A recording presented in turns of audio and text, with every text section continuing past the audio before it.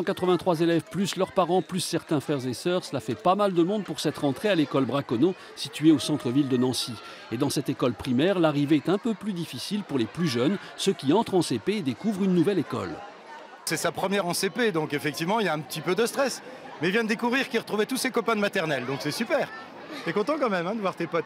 Euh, oui. Mais Mais quoi? Bah, je suis quand même un peu timide parce qu'il y en a que je connais, il y en a plein que je connais et il y, en a, qui que je connais pas. J'aurais préféré être un petit peu plus en vacances. Tu rentres en quelle classe toi? CM2. Ouais, t'as l'habitude alors. Oui. Oh, presque l'habitude, on va dire. hein, Mais euh, non, non, ça a été euh, peut-être un peu plus stressé qu'elle, mais ça va. Bon, vous êtes content de rentrer vous? Oui. Pour faciliter la rentrée en CP, les parents ont le droit d'accompagner les enfants en classe. Première étape, poser le sac. Dire bonjour à la maîtresse et vient le moment de la séparation.